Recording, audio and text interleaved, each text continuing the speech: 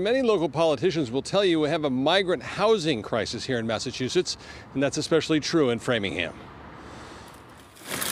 Late this afternoon, Eileen and Gene Muller were bringing supplies to a Framingham firehouse after the city put out a call for diapers, socks, water, and other supplies to help a dozen asylum families that just arrived from Haiti. They came in with only the clothes on their back. Mayor Charlie Sisitsky got the call from the state saying 40 migrants from Haiti needed emergency housing.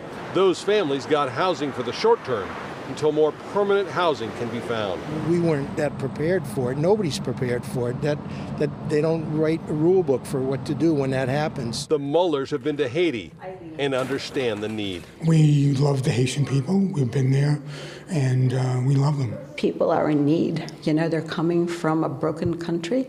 They've had nothing. People are starving.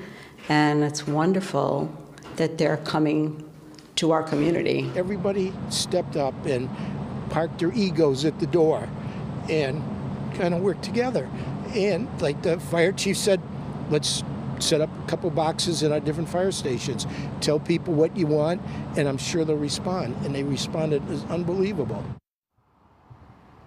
Among those 40 Haitians, many of them are school kids. The mayor told me today if those kids are still living here come Labor Day, they will enroll in Framingham Public Schools. Live in Framingham, I'm Ted Wayman, WCVB, News Center 5.